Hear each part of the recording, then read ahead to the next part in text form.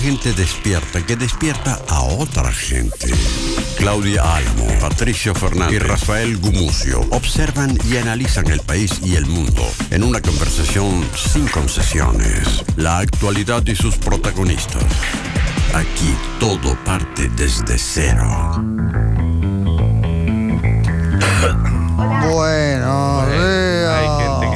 Se pasa así en Barú. En Barú. 8 En aguas claras, buscando Ya. aguas claras y tibias. es la idea. 8.02 de la mañana. Mientras Es la Grecia idea. está en crisis, mientras en África se viven las miserias. Ya. y acá Estamos la mal. sequía. Y, Ay, la, y- y Y, la ella contaminación. en Barú. en el 8.02 de la mañana. Sigue los alumnos sin clases, sigue el, Junio- la junio se fue. la que no le importa. No importa eso. No le importa. País se puede dar No, no se puede vivir tan preocupado por todo. Bueno, un mínimo, lo que se pide es un mínimo. Primero de julio, junio queda atrás. Ojalá que también varias otras cosas vayan quedando atrás, como la contaminación. Eh, tenemos restricción, hay preemergencia ambiental de nuevo, restricción para catalíticos, los números terminados en 3 y 4. Eh, y la temperatura, 7 la mínima, 17 grados la máxima. Esto es en Santiago, eh, San Eugenio. San Eugenio. Eugenio Tironi, un abrazo desde aquí. ¿Qué otro Eugenio? Eugenio el de Ortega. Condorito. ¿Cuál? No, ese Eugenio. Eugenio. Ese es U. Ah, bueno, pero. Bueno, le podemos decir. Eh. Feliz santo. Y Eso. eso. Bueno. Eso. Vamos con los titulares, don Pato Fernández.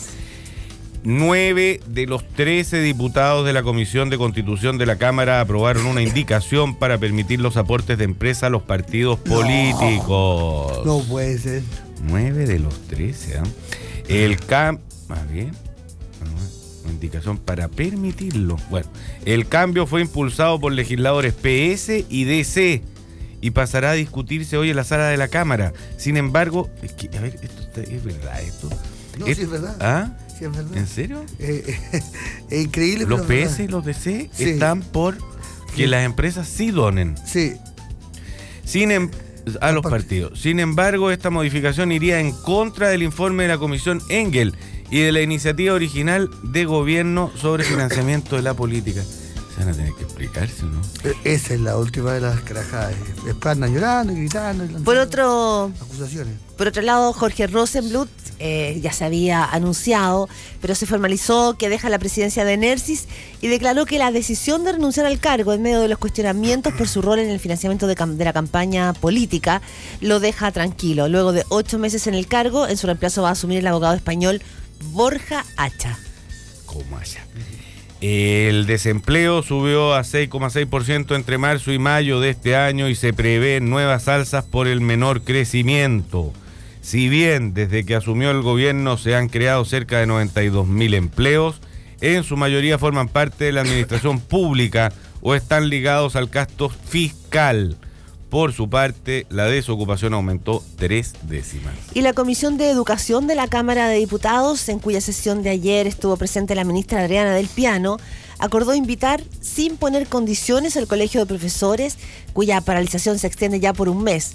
La ministra del Piano señaló ayer que no se va a reunir con los profesores hasta que no depongan el paro.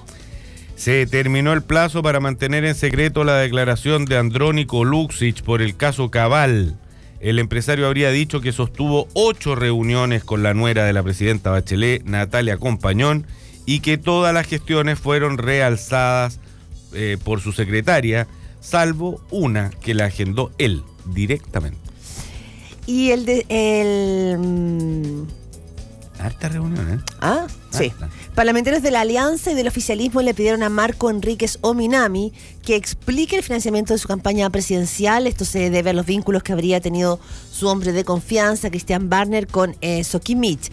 El expresidenciable reconoció haber recomendado a Barner en los mails en que se gestionaban dineros para su campaña y además aclaró que él no conoce a Julio Ponce Lerú. La nueva mayoría presentó el voto de censura contra el senador Alejandro Navarro, por lo que hoy se evaluará si continúa en la vicepresidencia de la Cámara Alta. Por su parte, el presidente del MAS no se retractó de haber publicado un listado con los aportes reservados a los parlamentarios y acusó de bullying político. Aquí mismo nos dijo eso. Eh, vamos, y a nivel internacional, un- la noticia está... en este- Ah. Es que eh, también recibió como un poco de bullying porque dijeron que le habían pagado, él había pedido un préstamo a Manuel Navarrete, un empresario de, los micro, de las micro amarillas. Y, Amarrete. y justo cuando salió Alta Santiago y recibió una, un, un préstamo, después lo devolvió, según di cuenta él, eh, y eso provocó cierta polémica ahí en el Congreso, porque nos había dicho a nosotros mismos de que no, no había recibido ni una plata de ningún empresario, y, y después parece que sí, no sé, todo está- se, se- se está complicando. Vamos a nivel internacional, que está puesto la mirada sobre Grecia. Rebotan las bolsas europeas tras el default griego, expectantes por una reunión de la Unión Europea. Los ministros de Finanzas van a sostener hoy una teleconferencia para evaluar la propuesta del primer ministro griego Alexis Tsipras, que pide un nuevo préstamo. Esto luego de que Grecia no pagara los 1.500 millones de euros al FMI. Pero Estados. además de eso, eh, Tsipras eh, eh, lo- aceptó por carta las condiciones de la Unión Europea. Están reunidos en este momento los ministros de Finanzas. Sí. Estados Unidos y Cuba anunciarían hoy la reapertura de sus embajadas.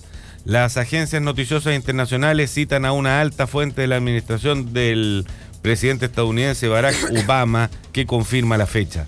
Se espera que Obama reciba al secretario de Estado John Kerry para ultimar los detalles. Sí, esta fue eh, además la reunión de Estados Unidos que tuvo con la presidenta Dilma Rousseff. Recordemos que había habido ahí una crisis en que ella había suspendido en un minuto una gira a Estados Unidos. Ahora aparecen juntos. Eh, la mandataria de Brasil se reunió ayer con Barack Obama y dice que le cree al presidente Obama todo y que da por superada la crisis por Estados Unidos por espionaje. También esa fue la noticia. Y en el ámbito de Venezuela, eh, Venezuela evalúa liberar al líder opositor Leopoldo López para estabilizar las relaciones con Estados Unidos. El chavismo necesita reducir la presión externa y podría hacer el anuncio en coincidencia con la visita de esta semana del senador norteamericano Robert Corker. Todavía no está confirmado si el exalcalde va a aceptar este beneficio. Argentina no tuvo piedad con Paraguay y clasifica a la final de la Copa América. La selección albiceleste goleó por 6 a 1 a los guaraníes y jugará ante Chile el próximo sábado en el Nacional por la definición del A titular. mí me dejó muy asustado el partido ayer. No creo que no hay, nada, que no O hay sea, nadie que no esté asustado. Quedé aterrado porque... 6 a 1. Sí, no, además los lo- goles de Argentina eran una, una belleza. Lo único que le Mm. pido al señor es que no nos humille. Sí, por favor, no, no, No, por no, favor, no, no, mira, Messi. Yo no daría, yo no, yo no, yo no bajaría los brazos tan anticipadamente. No, si podemos pelearlo todavía, pero es que viendo cómo jugó Chile con Perú y cómo jugó Argentina con Paraguay, no tenemos nada que hacer. O sea, eh, si Chile se recupere, juega como jugó con México, o como jugó con Bolivia, o como jugó con eh, incluso con Ecuador, eh, se podría salvar algo, pero pero es que los argentinos son demasiado buenos. Yo me acuerdo la final de la, o sea, el- el- la Copa Mundial. Y Argentina que empezó como si un partido, un equipo medio pichiruchi, como dices tú, fue creciendo, creciendo y tiene ¿Yo una. cuándo dije que era un- No, no, el término pichiruchi lo, Ah. lo usa. Era, un- eh, entró al mundial como. Ah, nadie graba mucha por ahí. Pero tiene unos jugadores. Y esto que Messi no. ¿No luce? No. No, lo que, lo que se dice, lo que se dice es que, no, es que no, Messi no no, luce. o sea, tendría que llegar con su puño a donde me Sí, bueno, debe- no, se dice que en el fondo Messi no luce en, en- en la selección argentina, no luce como se esperaría. Claro, pero no. Eh, y que, sí luce como se esperaría. O sea, no, no, no, sol- no, no él, no solo él, no, sino que él dentro del equipo. O sea, él le da al, al ataque argentino un, un volumen, un, un peligro. Y no son como los chilenos que, que andan perdiendo oportunidades como degenerados. Bueno, en el, que- en el partido de, de Paraguay, en otros partidos no, pero en el partido de Paraguay, oportunidad que tenían, la, la embocaban. Y Paraguay no es cualquier equipo, así que no. Oye, me encantaría llamar a un legislador PSDC para, para, Para que te me explique. explique por qué van a eh, quieren aprobar eso de la de, de que donen la empresa. Me gustaría. Yo no sé si nuestra productora eh, Sofía nos podría proveer es mucho más que nuestra productora. nuestra nuestra, Nuestra alma, jefa. nuestra todo. Sí. Eh, Es bien- porque, es bien increíble, Porque, sí. Claro, porque cualquier razón eh, esgrimirán para mantener ese, ese contubernio que muy claramente la Comisión Engel eh, de Transparencia, después de discusiones importantes, porque los que defendían eso eran solamente un sector de la derecha, eh, eh, plantearon la necesidad de terminar con ese tinglado. Raro. No sé, son los mismos que en la mañana acusan y gritan y en la tarde eh, votan, o quizás inversamente, puede ser, o al mismo tiempo. Oye, hoy la figura de, mm, del senador Navarro va a estar en cuestión. Todo indica que muy probablemente salga de la vicepresidencia eh, y, y- y esto se, se vuelva a revisar totalmente de la vicepresidencia del Senado. No se retractó de sus dichos, sus dichos eh, en los que señalaba que aquí finalmente había un aporte transversal de las pesqueras, perdió el apoyo de su partido, del MAS, eh, y por lo tanto la situación de Navarro hoy día, ¿Cuántos militantes tendrá? el MAS ¿Se reúnen todos cada vez que.? que Cada- algo, son cada no? vez menos. ¿Ah? Se han ido dividiendo. Pero, pero es analizar, es, yo creo que es, es un punto analizar la caída de, de Navarro. Era un hombre que representaba el ala más izquierda de esta nueva mayoría, eh, un hombre que, que cristalizaba un sentimiento que había sido súper crítico cuando era parte de la concertación y después cuando se fue del Partido Socialista y que mantenía un ancla como en esta cosa de eh, mantener el programa a tope, de una mirada como del lado más de izquierda de esa, de esa nueva mayoría. Me, me llamó la atención porque la, la última declaraciones que le escuché antes de este incidente eran como bien racionales, bien de senti- sentido común, bastante. Se había transformado como una especie de hombre de Estado. Sensato. Sí, sensato dentro de lo que cabe. A algunos les parecía insensato, a mí me parecía muy sensato todo lo que estaba diciendo. Y como que estaba como. ¿Cómo que patinó, dices tú? No, es que algo, algo le, le- le- Pero a ti te- no lo lleva como a, a, a su carácter, lo lleva como a hacer A cosas. Porque esto además es un meme, meme, nos contó que era un meme, que no era ni una declaración. Este, ayer, ayer hablando con él era como si estuviera como disculpando, pero no se disculpó. O sea, era como casi como si dijeran, sí, era un meme, no es tan importante, no sé qué, pero algo lo lleva como a hacer estas cosas como... tú ese momento de sensatez, tú dices cuando hace un par de semanas señaló que era importante, que las situaciones habían cambiado en el país. Claro, un poco el, todo- di- el discurso que estuvo que estuvo en boga y que después hemos sabido que sea, fue parte de un acuerdo político de señalar que había que priorizar el programa, que las condiciones del país habían cambiado. Pero no, O sea, no- ¿ustedes están de acuerdo con la nueva mayoría de que lo sancione por decir él que hay mucha gente de la nueva mayoría? No, no estoy... No, no, no ¿Eso estamos- es lo que dicen ustedes? No, lo, lo- lo está sancionando por, no está, No. lo está sancionando por el, el, el meme. Si ¿cómo entiendo se llama? mal, perdón, si entiendo mal. ¿A ustedes lo que les, a ustedes les parece bien? Entonces, claro. No, lo que, lo que, No, lo- estamos que- analizando lo que, significa finalmente la, fi- la, la- la caída o el dejar caer una figura como Navarro en, en, en este No, a mí me plano sorprende, de la me, sorpre- me mayoría. sorprende el personaje porque es- sería mentir decir que ha sido en estos años de, de gobierno el incendiario, eh, el hombre radical, el loco. Eso ha sido mucho más Jaime Quintana que, que, que, que Navarro. Mm, O sea, al margen de las imágenes previas que uno podría haber esperado de él, un discurso como loco, hasta este incidente eh, se había portado de manera totalmente eh, como responsable, maduro, casi gobernista, y de repente lanza esta cosa que lo, lo incómodo que tiene, él, dice una gran verdad, una verdad absolutamente indiscutible, de que seguramente las pesqueras financiaron mucho más que a Jorpi, a Orpi y a la, y a la diputada Isasis. Lo que pasa es lo que está haciendo que, que sí es, no, sé cómo decirlo, eh, es complejo, es poner lo legal, que a uno le parece indecente, pero es legal, en el mismo rubro que lo ilegal, que ya parte. Entonces, en el fondo, ¿qué es lo que se hace con eso? Es disculpar lo ilegal, porque si todos lo hicimos, luego nadie lo hizo. Lo de Orpi y lo de Isasi, eh, otra cosa que lo del resto del- de los diputados y senadores que podrían haber recibido plata de, de las pesqueras, pero que se supone que no lo saben. Y se supone que hay un mecanismo que se llama eh, aporte reservado que, que existe y que es legal. Entonces, el, el cuestionar lo que es lo, eh, todo al en el mismo nivel, yo creo que es una muy mala política. ¿no? Yo no sé si castigarlo o no, no, no me gustan los castigos, pero, pero sí es ilógico, digamos. con- si- Pero yo no si- estoy de acuerdo contigo en eso de que, de que el senador Navarro ha sido mucho más, tú lo comparaste con Jaime Quintana, el presidente del PPD. Ha sido mucho más tranquilo que Jaime Quintana. No, lo que pasa es que, Quin- que Quintana inauguró su frase de la retroexcavadora y de- desde ahí, digamos, quedó como Bob el constructor y nunca más se bajó de su retroexcavadora, pero en términos consistentemente, Y el otro día se juntó con Burgo, ahora recién, porque Sí. se están amistando. lo, lo- claro, Para que no lo siguieran molestando con la retroexcavadora. po.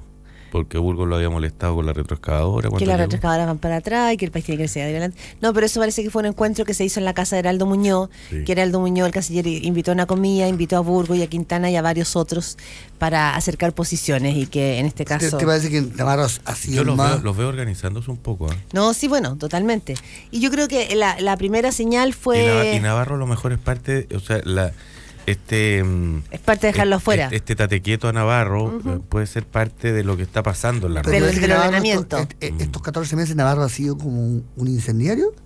No, no, no, No. no, no, no me parece un incendiario, pero no, diría que ha sido súper sensato y, y, y súper sensato fue- responsable. eh, Fue como muy bacheletista. ¿eh? Ha Sí. sido Se muy, ha portó sido muy como bachelet- el más bacheletista de sí. los O sea, bacheletistas. decir Pero que, no sé si- que hay que frenar las reformas porque no hay suficiente dinero, me parece que No. es una sensatez y una falta de, Sí, pero de la- radicalidad absoluta, no es un radical. Sí, pero lo dijo también Guillermo. puede decir lo se contrario. viene diciendo hace rato, lo dijo y eh, lo dijo el presidente de los comunistas y fue parte de un acuerdo. Después hemos sabido estos días de la semana pasada de los de, de un Ya, grupo de líderes de la nueva mayoría.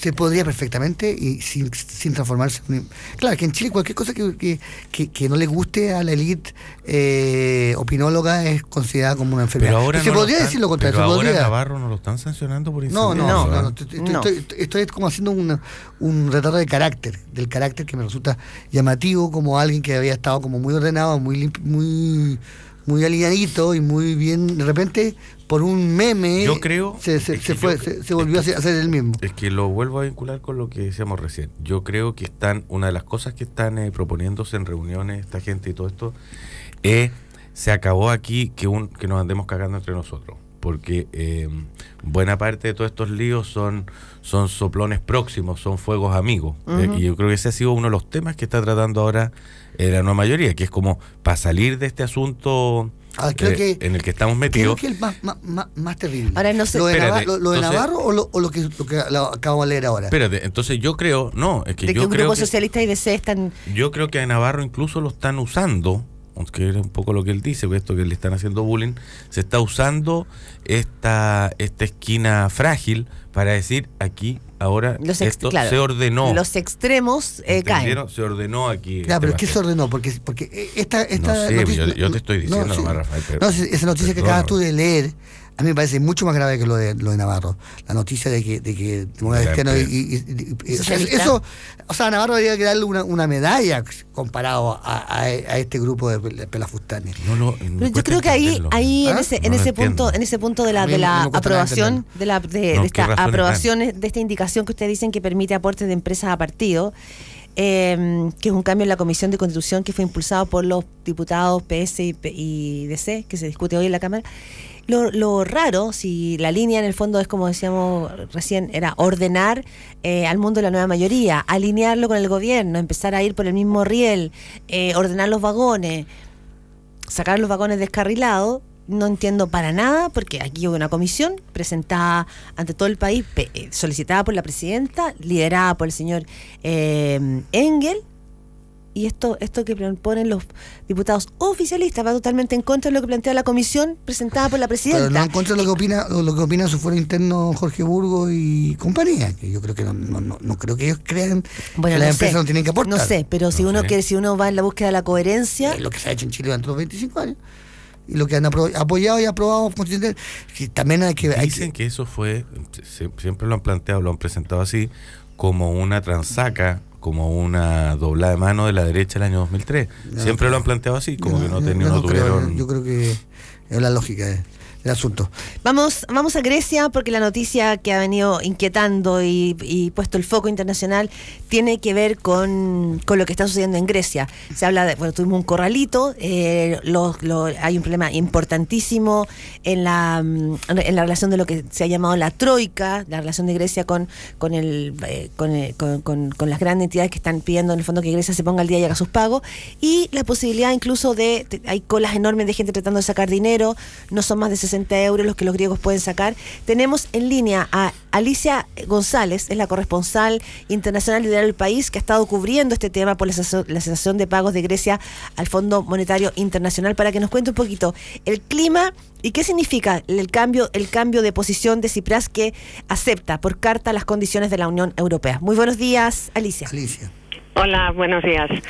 Eh, bueno, pues el- la verdad es que pilló un poco por sorpresa, ¿no? Eh, la carta que envió el primer ministro Alexis Tsipras a- al, Eurogrupo. Eh, el Eurogrupo todavía no se ha pronunciado, básicamente acepta las condiciones que le habían ofrecido el pasado sábado, en la reunión del pasado sábado, porque esto se está moviendo muy deprisa y cambia por horas, solo que ahora, y a diferencia del sábado, hay convocado un referéndum, hay, se ha impuesto un corralito, con, como, como comentabais, eh, con controles de capital y limitando la cantidad que los ciudadanos pueden sacar diariamente de los bancos y además eh, se ha suspendido un pago pendiente que había con el Fondo Monetario, que es uno de los miembros de las instituciones con las que, que debería negociar un nuevo acuerdo, con lo cual la situación es mm, mucho peor de lo que era el sábado y qué puede pasar estamos a la espera de, de ver cómo se pronuncia el Eurogrupo en la reunión que hay fijada Hola. en esta tarde hora europea. Ahora, si, si esta carta se, es aprobada, o sea, si es Aceptada. aceptada, ¿qué, ¿en qué pasa con, con el referéndum? O sea, Esa se- es la pregunta, ¿no? ¿seguimos con el referéndum? ¿Cómo, ¿Cuál es la opción?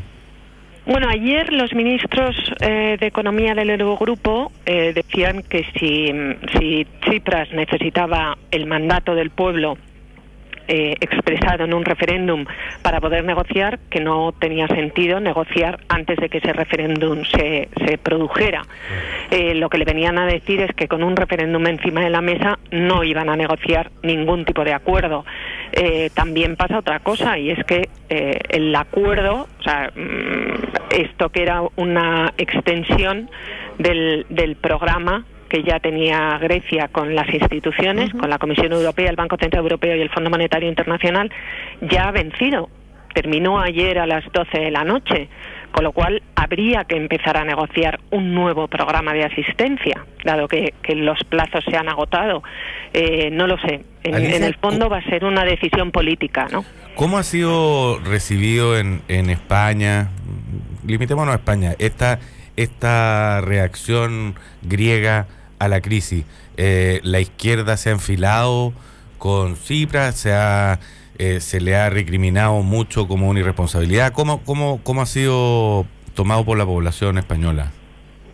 Bueno, por la población yo creo que está pendiente de las noticias, pero una cosa es la población y otra es la clase política, ¿no? La clase política, eh, nosotros, eh, España tiene, va a celebrar elecciones generales a finales de este año y, mm, y el tema de la crisis griega está siendo utilizado por los partidos, pues unos a favor y otros en contra. Porque esto puede llevar a España a la recesión, es lo que un poco decía la prensa española el fin de semana. Es que- Este- es- que esto puede, Bueno, este- ma- más que puede llegar, el gobierno está utilizando el, el caso de Cipras, eh, bueno, de, de Siriza, ¿no? Del gobierno griego, para decir esto es lo que podría pasar si, si en España en noviembre eh, se produce un cambio de gobierno hacia una de las nuevas formaciones.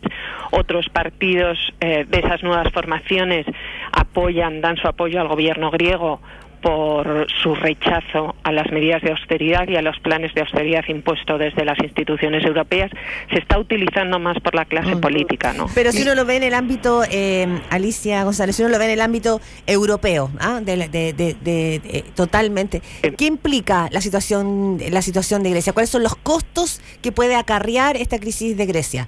No estoy, no estoy pensando solo focalizado en España, que como tú bien dices hay un proceso eleccionario, sino de lo que implica la posibilidad de que Grecia caiga como está cayendo y que pueda salir del, de- de- del, del euro.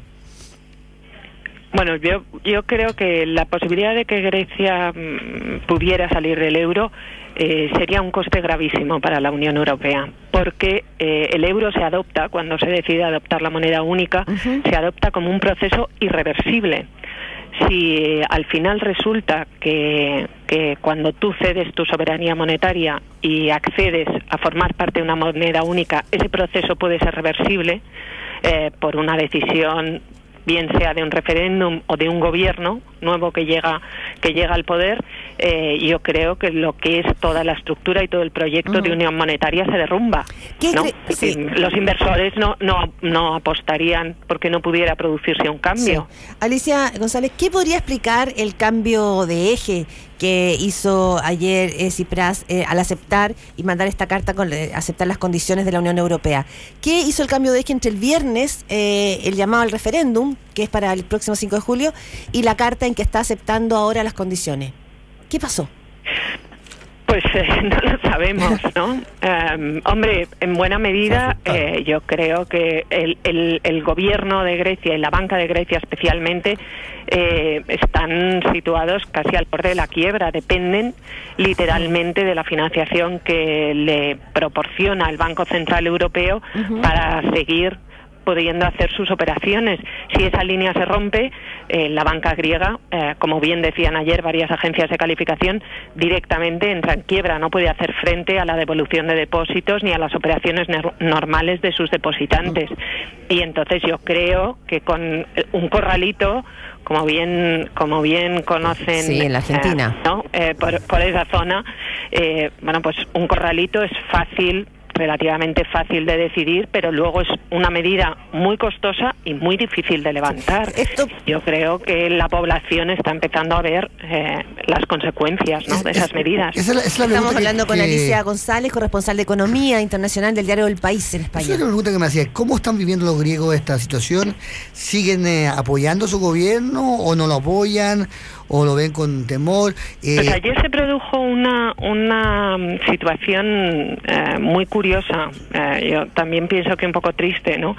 Pero ayer se produjeron dos, dos manifestaciones Ah, importantes en Atenas, sí, no. unas eh, a favor del gobierno, en apoyo al gobierno, en apoyo del no al referéndum, no al acuerdo, y otra manifestación a favor del sí, ¿no? La, la población aparece eh, cuando menos bastante dividida, aparte de que se tienen que ocupar por, por la supervivencia, ¿no? Del día a día, de, de los problemas económicos y financieros con los que uno viviendo en una situación así se tiene que enfrentar, pero aparece una división bastante importante en la población. ¿Y el no es visto como una tentación de salirse de la comunidad económica?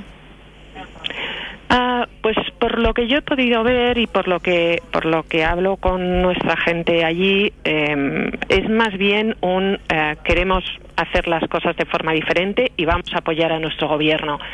Eh, no no se plantean una salida del euro, sino vamos a hacer las cosas de forma diferente. El apoyo al euro eh, a- y al proyecto europeo sigue siendo mayoritario, aunque también es mayoritario el rechazo a las medidas de austeridad, cosa que es comprensible, ¿no? Bueno, Alicia González, muchísimas gracias por este contacto, por Un placer. eh, ir testeando lo que está pasando ahí en Grecia, que está puesta toda la mirada eh, internacional. Chao, Eh, Alicia, gracias. Gracias. Gracias. Que estés muy bien. hasta luego. Hablábamos con Alicia González, corresponsal de Economía Internacional del diario El País, sobre la crisis de Grecia. Eh, el otro día, ayer, digamos, le preguntamos a nuestros auditores ¿Ya? cuál es la mejor salida a una crisis de probidad que parece no tener fin. Rafael hizo una propuesta, vi por sí, ahí. hizo una propuesta Sí. como el Nelson Mandela de la propiedad. o el Desmond Tutu. La, la manera más virtuosa de plantar una cuchufleta. ahí está. Esa se llama, Pero bien. se llama, Se llama idea. terapia. Bueno. se llama le- idea. le Se llama pre- alguien que dice algo, alguna teoría, porque está- nadie dice nada. Le preguntamos entonces a la gente cuál es la mejor salida a una cri- a esta crisis. Que la justicia avance caso por caso, un 75% se manifestó a favor de eso. Mea culpa transversal y promesa de nunca más, sin pasar por la justicia, propuesta de Rafael, un 25% de nuestros auditores. De manera que la encuesta opina desde cero, eh, una de las ya más influyentes eh, en el mercado de la encuestología, eh, ha hablado. Pero no se preocupe, vamos a ir ganando voto a voto. Son 8.30 de la mañana de este primer día de julio. Para los que van saliendo de su casa, la te- eh, restricción para los catalíticos terminados en ustedes 3 y 4. ¿Les molesta mucho esto de que esté oscuro todavía? Nada. Es, uno de los... eh, eh, Sí, a mí sí. ¿Sí? ¿Te molesta Sí. a ti? A mí tampoco, a mí no me molesta, pero... ¿No les molesta? No. Nada. A mí, a mí- a mí- Ah, tampoco me, tampoco, tampoco me quedo Sí. congelada por el día, digo, o sea, que, digo, qué lástima, pero está. No, y funciona. además que. ¿Tú crees que a la gente no le gusta o le gusta que... que- Yo creo que a los niños que, que van al colegio eh, los- les alata. Yo no, creo pero que yo no van al colegio, si hay paro profesor. Yo creo que ha molestado más en el sector oriente que en el sector poniente de la ciudad. Porque hay más luz allá. No sé. de las fogatas y los. y Están- están haciendo más protestas, fogatas, asesinatos. Oye, les gusta eh, más la noche porque ahí se cometen delitos. estoy muy preocupado porque leí que el gobierno quería volver a instaurar la detención bajo sospecha. La dirección bajo sospecha. La detención Ah, la- bajo sospecha, con otro nombre, por supuesto. Eh, hay cosas de del conservadurismo, la- del retorno al conservadurismo que a mí me preocupan. Eh, esa, por ejemplo. Eh, Oye, había. eh, eh, eh, ¿qué, qué será de este caceroleo con ollas Le Creuset que. ¿De los autos de lujo? El No, lo- el caceroleo por la seguridad. Sí, sí, pero es que había un, no casero- un caceroleo también en, en el barrio alto, un llamado a caceroleo de, la, de, de muchas mujeres que, su- que, que- que sus autos de lujo son robados habitualmente en la, en la puerta de sus casas. No es solamente el tema de la seguridad. ¿Tú no sabías eso? No. Ah, la semana pasada sí, había un Pero caceroleo. debieran hacer una cuestión tocando bocina. Los claxon, ¿o no?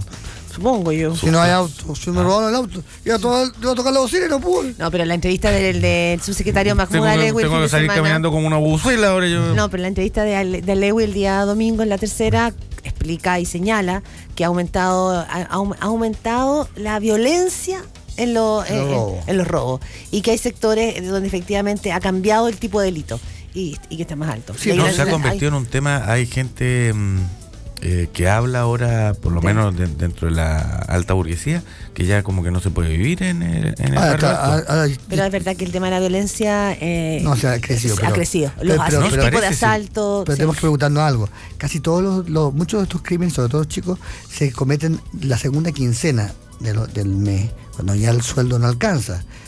Y, y teníamos que ¿Ese es un dato, en serio? Sí, sí, sí. La lo- me- No sabía. sí. O sea, hay Y- que andar con más cuidado la segunda quincena. y, y lo que dicen algunos expertos en pobreza es que si no hubiera robo, si hubiera delincuencia, el país se iría a la, a la ruina. O sea, Claro. que es parte de la, es la de- redistribución del ingreso. Es la redistribución, es como la, es la redistribución del ingreso. Es la Eh, quincena. eh, claro, es, es parte del El plan. de llegar la- a fin de el- mes, el- Claro, el pago de la Eh, quincena. Entonces, entonces tenemos que pensar en eso. Somos un país tan tan pobre en cierto sentido que, que en el fondo necesitamos que hay gente que necesita robar para Sí, yo terminar lo- el mes. Yo lo que encuentro que vuelve, hace que los robos, mientras no haya violencia, no sean tan graves. Es que yo sé de poca gente de esa robada que llega a la quiebra por los robos.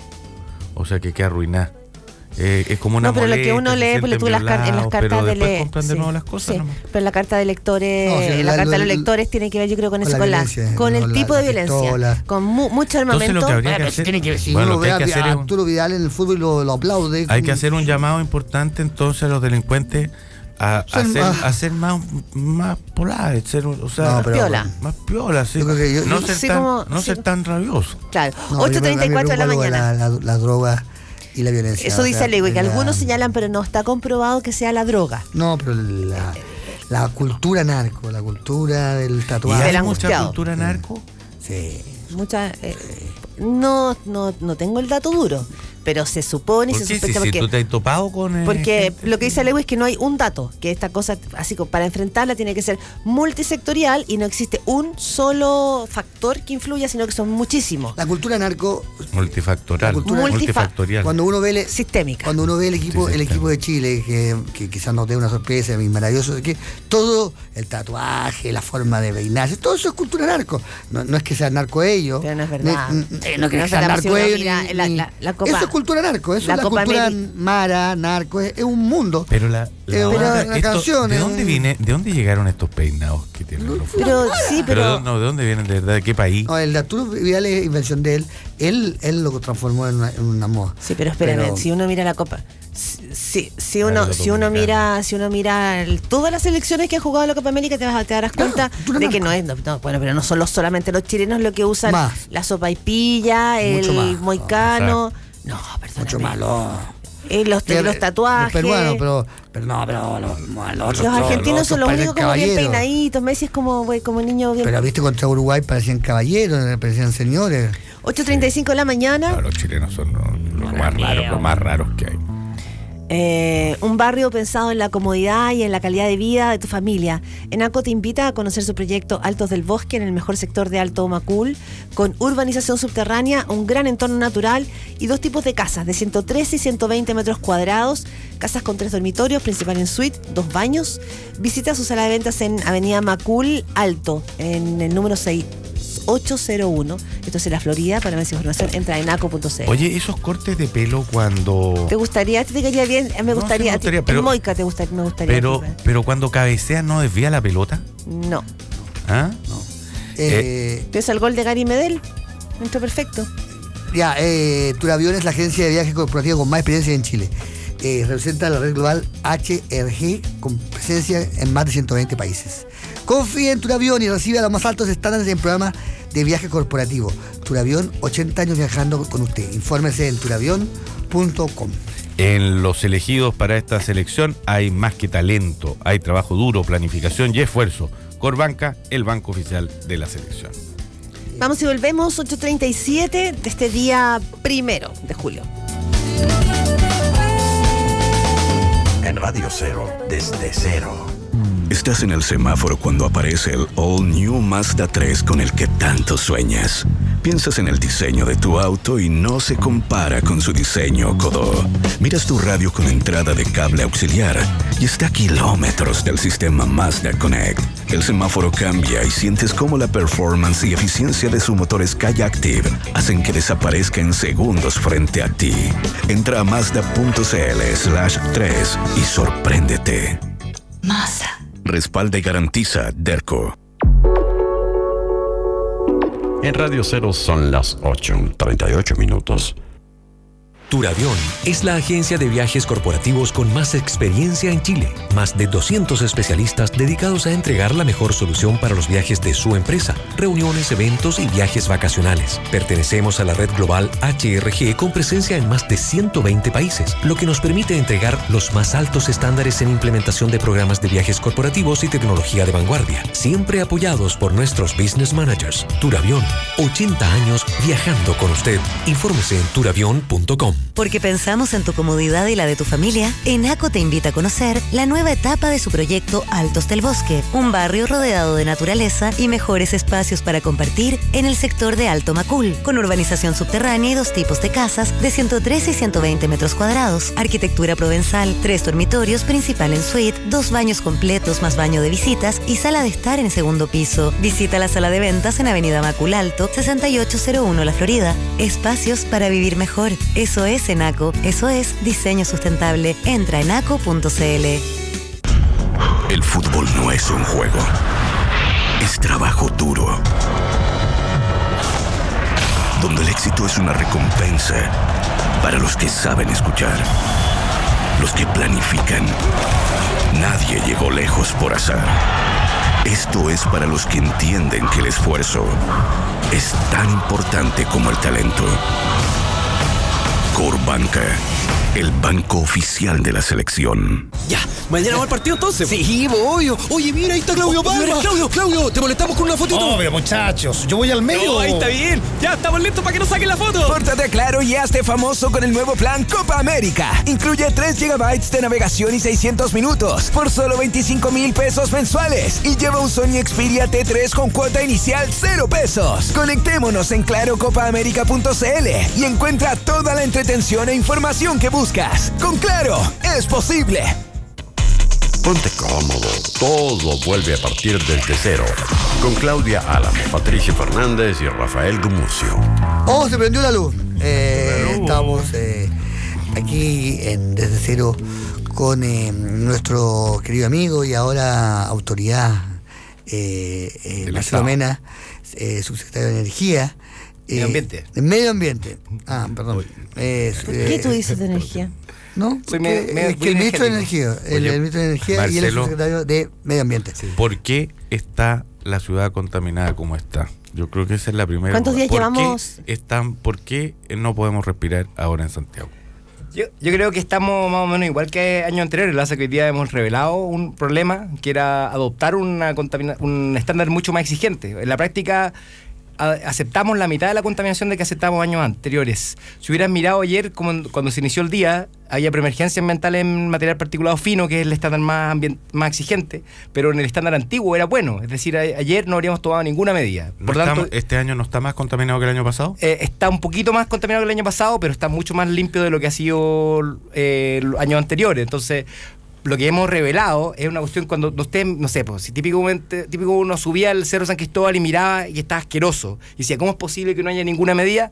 Esos días estamos tomando medidas. Entonces estamos tomando en la práctica cinco veces más frecuentemente eh, las medidas de restricción vehicular, de ¿Y prohibición tú de nos podrías explicar más o menos con porcentaje o no Sí. sé, en qué, de dónde proviene la contaminación en Santiago? Sí, hoy día tenemos tres tercios grandes, que son fundamentalmente la industria, que en un día como hoy paraliza eh, las fuentes más sucias.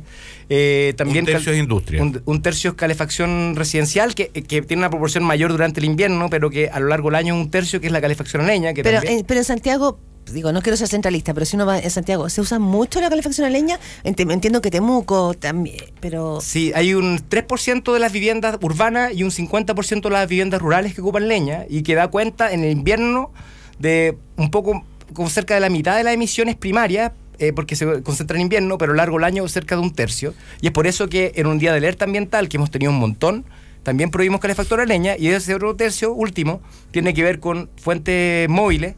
Eh, las cuales también los, los vehículos no catalíticos y catalíticos y diésel van sumando O mucho sea, a la contaminación. un tercio industria, un tercio calefacción, un tercio los autos, el, el transporte. Sí.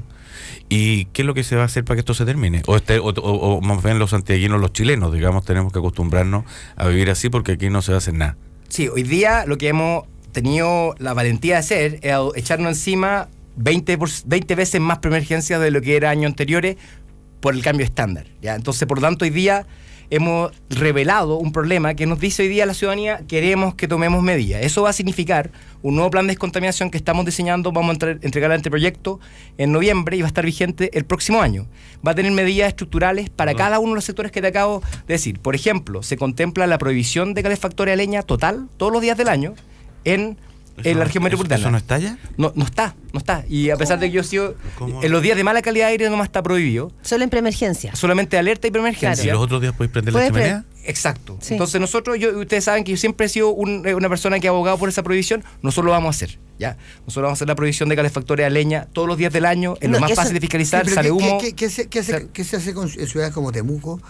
Eh, se o- eh, no. que se calefaccionan Pero- toda leña no, y, pero- y si, le, si le dejáis sin leña lo es, matáis. es que es distinto. Solamente en la región metropolitana tenemos esta consideración. En el sur de Chile trabajamos con medidas de otro tipo, con aislación Pero térmica, recambio de es calefactores. terrible. La, Pero ¿sabes qué? el smog es terrible. Es terrible, pero desde que nosotros implementamos la prohibición de calefactores con, que tienen humo, porque ahí hicimos una, una especie de restricción vehicular, si tú ocupas un, un calefactor catalítico que no tira humo, puedes ocuparlo, y si está tirando humo, está restringido. Ahí lo que hicimos el año 2014 fue reducir en 30% los episodios, y este año también estamos en torno a, a un 20% menos, por lo tanto, ha funcionado las medidas que hacemos. Eh, lo, lo que ocurre es que toman tiempo. En industria, también tenemos estándares de emisión que van a reducirse, de manera que, que- que sean mucho más exigentes las emisiones de material particulado que nosotros toleremos de la industria. Y en fuentes vehiculares, medidas especiales para camiones. Espérate, eh, y también, hoy día, hoy Pero día la Marcelo- industria, a ver, para entender, hoy día la industria puede contaminar una determinada cuota. un estándar de emisión que es en torno a 100 miligramos de material particulado, nosotros queremos reducir ese estándar que permite la industria operar todos los días. Ellos paran en días de mala calidad de aire, pero el resto de los días pueden operar con un estándar que podría mejorarse. eso quiere ¿Es verdad que llega, perdona, que llega mucha contaminación del teniente? Si fuera así de fácil, lo habríamos eh, abordado con mucha más fuerza. Hoy día tenemos una norma de emisión que tiene hartos años en Teniente que reduzca en torno al 90% sus emisiones y hoy día tenemos una nueva que entra en efecto el año 2018 que va a, ¿Y, a seguir ¿Y reduciendo. pelambre? Pero es- Eh, no, porque es- es- lo que es hoy día material particulado fino tiene fundamentalmente no que ver No, con no, el pelambre. polvo. ¿Cómo se llama el de las condes? ¿No? ¿Se? Eh, no, eso No, sería eso no, pero, eh, eh, sería eh, a- No. eh, andina, división andina. Sí, no, de- llama- Eso es fundamentalmente es polvo. sí, ¿Cómo se llama? eh, sí, ¿cómo se llama el Eh, American eh, andina eh, está no es la eh, escondida. Sí, se llama... los eh, bronce. Los bronces, sí. Esa, eso también es material particulado grueso. Lo que estamos hablando hoy día, este nuevo estándar, Sí. no tiene que ver con el polvo suspendido, tiene que ver con lo que sale de una chimenea, de un tubo escape, lo, ¿qué hacemos? lo que es más pero- fino. Sí. el Eh, Marcelo Mena, hay muchos médicos y también parlamentarios que dicen que este actual modelo predictivo de alertas ambientales, que, que, eh, hoy día se supone es más exigente y que por eso tenemos esta preemergencia de 10 días, 13 días seguidos y llevamos. Con, Sí, eh, llevamos varios días que hemos revelado un problema que esta, esta cuestión pasó el año pasado. ¿está, no sé que no- funciona- ¿Está funcionando este modelo Sí, predictivo? Sí, funciona bastante bien. De hecho, lo que, lo que hay que tener claro es que nosotros cuando hay una expectativa distinta a lo que debería ser la preemergencia y las medidas y el resultado. Lo que ha pasado es que las condiciones de ventilación son malas. Lo que todo, todo lo que tú hagas esos días se amplifica. Si tú tienes un volumen que se achata de, no sé, pues de 600 metros a la altura máxima a la que llega la contención, a 200 metros, todo lo que tú hagas se amplifica por 3. Entonces, por tanto, no es que haya más emisiones, no es que eh, simplemente la condición de ventilación es bastante severa. Recordemos que ya se cumplió ayer, el 30 de junio, que fue el primer semestre más seco de la Mm. historia registrada de Chile, del año 1866. Sí, sí. Entonces, lo que lo bueno, en buena hora tuvimos este estándar, porque de lo contrario, las condiciones habrían sido mucho peores de las que han sido hasta ahora. Hay un ¿Dónde tema, ¿Dónde, dónde, dónde- dónde están las chimeneas puestas? En, la- en- sectores en en Santiago toda la ciudad. más, Eh, hay- más rurales, eh, ¿no? En la, la calefacción a leña, la comuna que más contamina eh, hoy día es Las Condes, eh, también lo Barnechea, eh, también tiene un ¿Y aporte... ¿Por qué tienen más, se supone que tienen mejor aire ellos? O, Es que lo que ocurre es que hay un tema de inequidad ambiental, que la contaminación Baja. baja, Tiene Serranaya, sube durante el día y Claro. baja y se acumula. Ah, como en, todo, como, bajo. to- como en todo, ellos, ellos ensucian y, y- y Y el resto tienen que pagar la- la- los precios. Eh, Bueno, es por eso que nosotros Ellos. queremos restringir. Ellos. ¿Qué es lo que ha pasado? Vamos al tema más ciudadano. La gente quería un auto grande, pero para que fuera barato andar, lo compró diésel.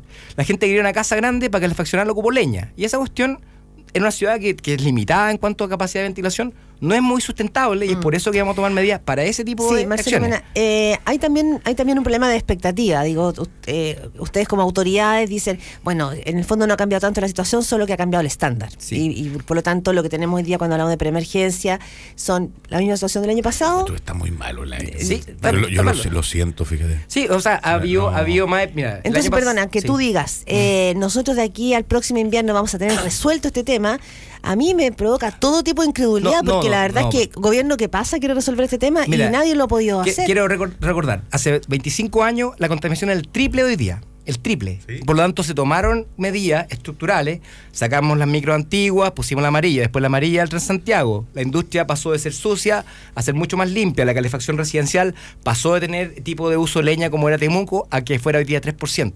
Se tomaron medidas estructurales. Hoy día el nuevo plan de descontaminación nos exige nuevamente reducir en 70% la contaminación. Por tanto, nosotros, y nosotros con el ministro Badenier, no hemos firmado ningún plan que no nos demuestre ya el- una línea tendencial que diga en 10 años, en 10 años, hay que ser res- responsable en esto, vamos a limpiar el aire de todas las ciudades, desde Ara- a- de Santiago hasta Coyhaique. Hemos hecho, estamos diseñando 14 planes de descontaminación, esas son las medidas estructurales, pero en el intertanto tenemos prohibición de calefactores y venía un artículo muy interesante el fin de semana que, se, que señalaba cuáles son las ciudades, pero no somos la única ciudad contaminada, cuáles son las ciudades de los que les funcionó. Coyhaique, No, no, pero estoy hablando a nivel internacional, Ciudad de México, Beijing, que el- los modelos para poder descontaminar. Y no todos, países súper desarrollados, le- les funcionó. ¿Cuáles son, los, ¿Cuáles son, en el fondo, los factores que sí permiten eh, mejorar la calidad del aire en una ciudad? Todas estas ciudades que tú me mencionas pasaron a limpiar bastante la contaminación, lo que ocurre es que, la- que el volumen de las emisiones aumentando. Santiago es el triple de su actividad económica de lo que era hace 25 años y hoy día contaminamos un tercio. Es decir, es posible desacoplar la contaminación de la actividad económica, se puede. Lo que hay que hacer es replicar las mejores prácticas, pero todos los países que han adoptado este estándar más exigente están con problemas. Si tú ves París, por ejemplo, tuvo varios días de prohibición de uso de auto el invierno pasado. El problema de París también tiene que ver con la leña. Un tercio de la contaminación también es leña, un tercio es transporte, un tercio es industria. Londres también pasa por esto. Entonces lo que, lo que significa esto es que tenemos que re- reimpulsar el aire limpio. Pasó al olvido, la gente se empezó a preguntar del cambio climático, que también es importante, pero hoy día hay que reimpulsar el aire limpio y eso es lo que estamos haciendo con este estándar ambiental más exigente. De lo contrario, días como ayer o como hoy día no habríamos tomado ninguna medida. Ahora, eh, Estamos con Marcelo Mena, subsecretario de el Medio problema, no, Ambiente. es- el problema no, no será, que, no, no será el- el- la organización de la ciudad, una ciudad tan disgregada, con tanta distancia, eh, Y con mucha inequidad también. Tan, tan mal comunicada. Yo voy a, lo- a lo que dijo, a lo que, lo que, lo que dice mi, mi- mi santi- mi- nuestra santidad, el Papa eh, Francisco, en su encíclica que estuve leyendo ayer. Laudato sí. Sí, que dice exactamente eso, que en el fondo no se puede desacoplar el tema de la, de la desigualdad y la injusticia con el tema de la ecología. Sí. Que, no- que, en, que en el fondo la, la- la forma visible de esta desigualdad es esta mugre que estamos respirando. Es una, es una oportunidad para enfrentar la equidad también. Hay un libro de Naomi Klein que se llama Esto cambia todo, que habla sobre el cambio climático, que es una oportunidad de poder enfrentar, por ejemplo, la equidad. Entonces, el, el plan de descontaminación no es pura restricción vehicular, tiene, es la oportunidad del Estado de coordinarse para tomar medidas estructurales en torno a la ciudad. Por ejemplo, ustedes han visto lo que han sido las vías ambientales. El espacio que tenemos hoy día dentro, dentro de la ciudad es pequeño. Por lo tanto, es importante privilegiar el transporte público. Una micro transporta 100 personas, un auto, una persona. Las vías ambientales han sido una excelente oportunidad de demostrar que cuando priorizamos el transporte para todos, todos se benefician, porque reduce el tiempo de traslado de esas ¿Y ha personas. funcionado bien ese transporte público? 45% de reducción de tiempo de traslado en las vías ambientales y un 10% de reducción de todo el transporte en días de preemergencia. Y en emergencia ambiental, eh, lo mismo para las vías ambientales y un 25% de tiempo traslado para toda la ciudad. Entonces, cuando uno se va dando cuenta que es una oportunidad de, de ver que es importante priorizar el transporte público, entonces con eso el Ministerio de Transporte tiene mucho más impulso para decir las vías ambientales llegaron para quedarse y vamos a hacer mucho más de esas. Nosotros tenemos cuatro implementadas, pero vamos a terminar en 23 tramos dentro de Santiago con vías ambientales que son las que realmente ayudan a que la gente ande en transporte público. Oye, ¿a la gente le importa el medio ambiente o no? Mira, la encuesta que hemos hecho nosotros, 85% de la gente apo- apoya la- en Santiago la restricción vehicular. Y ustedes pueden preguntar probablemente su- en su grupo, cuando no te toca, es una maravilla la restricción vehicular. Cuando toca, obviamente, eh, tú ah, haces tu, tu mandato ciudadano de, de andar en transporte público. La gente La quiere... Tiene varias patentes. ¿Ah? ¿Tú tenés varias patentes? Sí, la- las cambio de acuerdo el día. Pero lo que quería decir es que la gente está apoyando esta medida. Nosotros tenemos antecedentes de- en encuestas de que la gente apoya esta medida porque la gente está preocupada transversalmente. Hay pocos temas que preocupan tanto a la gente tran- transversalmente como el cambio climático. 86% de la gente se siente afectada por el cambio climático, en torno al 90% de la gente se siente afectada por la contaminación ¿Y atmosférica. esto de que no esté lloviendo, tú lo vinculas con el cambio climático? Yo diría que así se ve. Eh, alguna gente, también tengo mi background científico, dice que no, que es irresponsable vincularlo, pero así se ve, así se ve el cambio climático. El cambio climático proyecta aumento de temperatura, ha habido aumento de temperatura, menos lluvia y cuando ocurre son más torrenciales. Recordemos el norte. Entonces, claramente acá estamos preguntándonos qué es lo que estamos haciendo para poder aportar la descont- descontaminación de nuestra ciudad. Y yo creo sinceramente que la emergencia ambiental trizó algo en nuestra conciencia en general, porque cuando tú vas y tus niños no pueden hacer educación física, te preguntas qué estamos haciendo para que esa condición se cause. Entonces, por lo tanto, yo creo que tenemos un impulso súper fuerte para hacer un muy buen plan de descontaminación, porque la ciudadanía así también lo demanda. Pero tienes razón, eh, Pato Fernández. Una cosa tiene que ver con, como tú dices, estos tres tercios que, Mm. que planteas. Tres tercios, uno son la calefacción a leña, las industrias, los eh, automóviles que contaminan.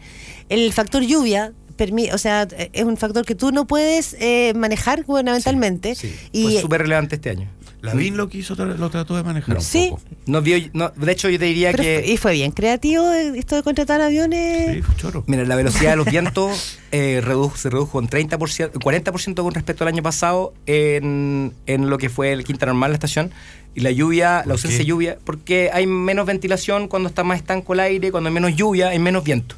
Por lo tanto, es muy determinante y justamente el año pasado llovió 10 veces en junio, este año no llovió ninguna vez, es decir, hemos estado en condiciones de ventilación en torno a casi dos meses enteros. Por lo tanto, lo bueno es que teníamos disponible esta herramienta para poder reducir la contaminación, de lo contrario habría sido mucho más severa la, la condición. lluvia- Estamos la con Marcelo Mena, subsecretario de Medio Ambiente. ¿La lluvia para contaminación es como una aspirina o la, o la baja de manera estable? O sea, ¿la aplasta hasta que se seca y vuelve o no? ¿O es más que eso? Eh, la, baja casi cero, pero después empiezan tres días de acumulación que causan la preemergencia. Entonces, lo que hay- nosotros hemos estado tomando como medida siempre es tirar una alerta preventiva para poder evi- evitar la acumulación. Sabemos cuándo viene, cómo viene la semana, sabemos que mañana va a estar malo, sabemos que pasado mañana va a estar malo y sabemos que llueve el viernes, el domingo, perdón. Por lo tanto, eh, hemos to- tomado medidas preventivas para evitar la acumulación y sinceramente, la cantidad de... El año pasado hubo tres emergencias ambientales, este año habido una. A esta misma fecha habíamos tenido tres emergencias ambientales el año pasado. Lo que quería recordar es que hemos revelado un problema que ha estado patente, pero con esta adopción de un estándar que la práctica permite y tolera la mitad de la contaminación que año En términos de- del tema de la palabra tolerar, a mí, bueno, tú, tú eres el experto, pero cuesta pensar que eh, la emisión de contaminantes de, no sé, de la gente que tiene calefacción, calefacción a leña sea un tercio igual que las industrias que son en el cordón industrial en Santiago. Sí. Cuesta entender que, que, val- que valga lo mismo, que pesen lo mismo en... eh, ¿Sí? ¿Pesan Sí. lo mismo? Mira, es súper simple. El- lo que emite una chimenea en concentración eh, debe ser una, por lo menos unas 200 veces más la- lo que sale esa chimenea que lo que es una industria típicamente la concentración. Sí. Si tú vas sumando, son 10.000 calefactores que emiten en torno a 2.500 toneladas y la industria entera emite en torno a 1.200 toneladas eh, de material particulado. Entonces, y, pero emite precursores que también aportan a, a- a que llegue ese tercio. Entonces, es, es patente y es, es más. Si tú vas con los mismos 100.000 calefactores en una ciudad como Temuco.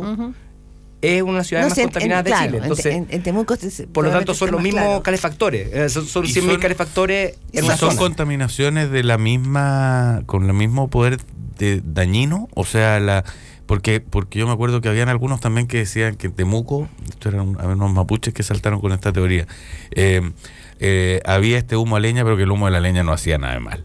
Es, una, es, la tradición que uno siempre ha pensado que, que no causa problemas. Eh, mucha gente tenía compañeros del sur que llegaban con olor a humo, ¿no es cierto?, después de estudiar. Este es un problema que siempre ha existido, pero que hoy día también se revela con la medición de material particulado fino. Es tóxico. En general, el humo de, de, de leña es tan tóxico como el humo de cigarro. Eh, el humo de cigarro no es cancerígeno porque Dios no quiere que fumes, sino porque cuando tú quemas cualquier combustible sólido, se forman estos compuestos aromáticos policíclicos que son cancerígenos.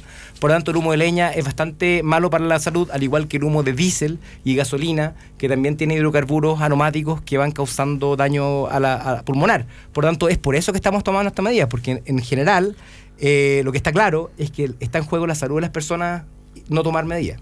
Marcelo Mena, eh, la, la opción de autos a gas, eh, ¿es, es una opción en Chile? El autogas, hay un mito con eso. El autogas dedicado es limpio. Un autogas convertido es tan sucio o limpio como un autogasolinero. Por lo tanto, no hay ventajas ambientales verdaderas con respecto a eso. Lo que estamos haciendo para el nuevo restricción vehicular, al igual que hace 25 años, eximíamos los, los catalíticos, que eran los más limpios entonces, y los no catalíticos quedan restringidos permanentemente. Hoy día vamos a generar una nueva categoría de autos limpios, que puede ser Euro 5, Euro 6 eh, y otras tecnologías, y con restricción permanente a los autos más sucios, porque hoy día en el parque vehicular sello verde, hay diésel antiguo, hay gasolina antigua, entonces hay vehículos que contaminan muy distinto. Por lo tanto, queremos focalizar a los vehículos más contaminantes, puede ser por tecnología, puede ser combustible, como el combustible Claro, pero, diésel. pero muchos problemas se resol- resolverían si la energía eléctrica fuera más barata. Y, y, y si, o sea, y, si, si, si usáramos el potencial hidroeléctrico que tiene el país, tendríamos una energía más barata y no tendríamos los problemas que tenemos. Pero como se, nos ocurrió que las re- represas eran feas y eran terribles y que la hidroelectricidad era la peor cosa del mundo, estamos metidos en este lío. Yo pienso eh, claramente en Temuco. Si Temuco, si a, lo- a- a lo- a los temucanos le dieran eh, energía eléctrica barata, eh, eh, no estarían eh, eh, calentándose con, con leña. Tendrían que reducir los costos energéticos en torno al 80% para poder equivaler la leña. Lo hemos, lo hemos mirado, nos ¿Se preguntan podría? mucho. Eh, yo creo que la calefacción eléctrica es una opción, particularmente en zonas como Santiago, incluso para que consideren estos calefactores split, que son los aire acondicionados que uno que en invierno calientan y en verano enfrían, es una buena opción. Pero lo que ¿Eso, está ¿Eso es malo para el cambio climático o no? eh, no, no, no, porque hoy día estamos apuntando a hacer una materia energética cada vez más limpia. Eh, si tú estás viendo las licitaciones eléctricas que ha impulsado el ministro Pacheco recientemente, han reducido los costos energéticos y han sido las energías renovables las que han liderado esa baja, porque hoy día el modelo marginalista estaba incentivando a que, que el precio esté marcado por la tecnología más, más cara, que es diésel. Por tanto, si tú tienes más energía renovable, incluida hidroeléctrica, eh, va bajando el costo energético y eso es lo que está impulsando el Ministerio de Pero, Energía. a través pero de en Chile eso no se ha notado para nada. Lo que ha pasado es justamente lo contrario. Que las cuentas de luz, la, la ciudadanía siente que han, no siente, han subido y que el, el- el pago, digamos, de la, de la electricidad es mucho más alto que hace un par de años. Lo- no, no vamos en la dirección contraria. el- Sí, la- vamos en la dirección contraria. Las licitaciones Pero eléctricas. si las la cuentas suben. No, la, la última licitación Debiera eléctrica bajar. tienen baja. eh, hay compromiso del ministro Pacheco Sí. de la Agenda de Energía de bajar en 30% los costos energéticos dentro de lo que habría sido el alza. Hay un- una serie de decretos que no firmó el, el- el presidente Piñera, que, caus- que, que tuvo que firmar el ministro Pacheco, o sea, escondió un alza, no se quiso tomar en su propio gobierno. Piñera escondió un alza. eh, y se, se tomó se tomó y se firmaron Dicen que estos estaba decretos en su escritorio el... Sí, el, ministro un. Pacheco lo tiene clarísimo, entonces, bueno, una alza que tiene que ver con eso, pero lo que ha impulsado el ministro Pacheco es una baja de cuenta energética y las licitaciones eléctricas recientes han demostrado de que un mayor impulso a energía renovable y una mejor competitividad y mayores actores ayuda a que sean más bajos los precios. ¿Tiene que ver, Marcelo Mena, la contaminación con eh, también con el modelo económico o no? O sea, las ansias de generar y generar riqueza, de, de producir y producir más. O no. O, se- o efectivamente se puede crecer eh, fuertemente sin contaminar. Yo creo que está claro en la agenda internacional, incluso tú vas a la OCDE, hay una agenda de crecimiento verde. Está claro que no puedes tener una- un crecimiento a costa de las comunidades, porque eso no te trae ninguna seguridad. Las inversiones se hacen inseguras. Si tú no tienes un marco regulatorio bueno, la gente judicializa los problemas y en su derecho y eh, al final no se llevan a cabo las inversiones. Por lo tanto, nosotros estamos llevando a cabo eh, un sistema de evaluación de impacto- ambiental que, que es fortalecido, que da garantía a todo, y estamos mejorando el marco regulatorio de manera que la gente sepa que cuando un proyecto se aprueba es bueno para, para todo. Entonces, yo creo que es importante tener en cuenta que el cambio climático nos pone un desafío, que tenemos que desacoplar nuestro crecimiento económico de las emisiones. Lo hemos logrado por materia particulada, pero el cambio climático es importante. Estamos en el contexto de cambio climático recientemente, estamos en tratativas internacionales que terminan en la COP de, de- de Ujú. París en, en- en diciembre, y por tanto China ya, por ejemplo, hizo un, compromiso de reducir en 65% sus emisiones por unidad de PIB. Han prometido una, un desacople total de sus emisiones con el modelo de crecimiento económico. Por lo tanto, al igual que dice el Papa, es importante aprovechar esta instancia del crecimiento económico para que sea sustentable e inclusivo. Ok.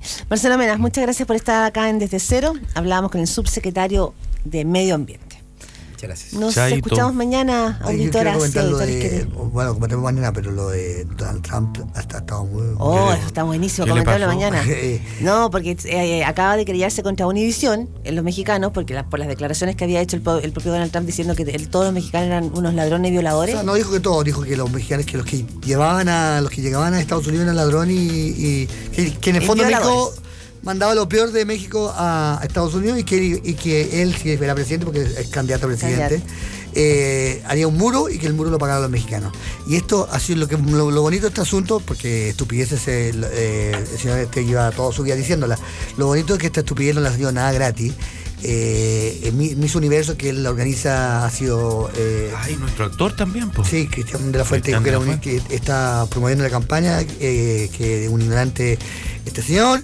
Eh, Carlos Slim se ha unido, a, que- a- eh, se ha, uni- eh, ha boicoteado Miss Universo, Univision se, se separó de él y lo echó. Eh, ha, ha tenido un costo muy, muy caro para él estas declaraciones que en otro momento hubiesen sido declaraciones folclóricas, pero que demuestran que la comunidad latinoamericana eh, en Estados Unidos está empezando a tomar ciertas medidas y sobre todo, bueno, y que el personaje también de Donald Trump es muy divertido esto por su, su característica. Eso. 903. Sí. Chao. Desde cero fue presentado por Agencia de Viajes Duravión. 80 años viajando con usted. Para Enaco, construir es mucho más que levantar una casa. Corbanca, un banco que se mueve contigo. All New Mazda 3. Solo un Mazda es mejor que un Mazda.